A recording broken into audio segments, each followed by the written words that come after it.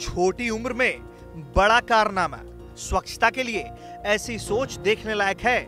12 साल के हीरा ने जब नानी को शौच के लिए खुले में जाते देखा तो उससे रहा नहीं गया। उसने शौचालय बनाने की ठान ली और खुरपी लेकर खोद डाला चार फीट गड्ढा और आखिरकार बन गया शौचालय। ये प्रेरक कहानी है मोतिहारी के हरसिद प्रखंड स्थित घियुआढार पंचायत की।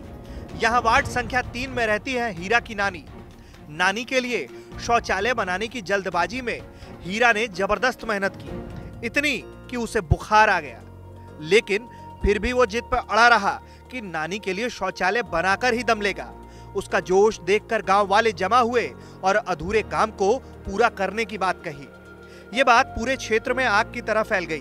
देखते ही देखते हीरा इस इलाके में स्वच्छता का हीरो बन गया।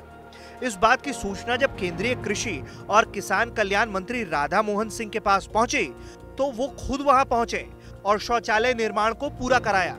हीरा को इस काम के लिए दस हज़ार रुपए भी इनाम देकर सम्मानित किया गया। सचमुच, हीरा की नानी का यह शौचालय स्वच्छ भारत नई तस्वीर पेश करता है।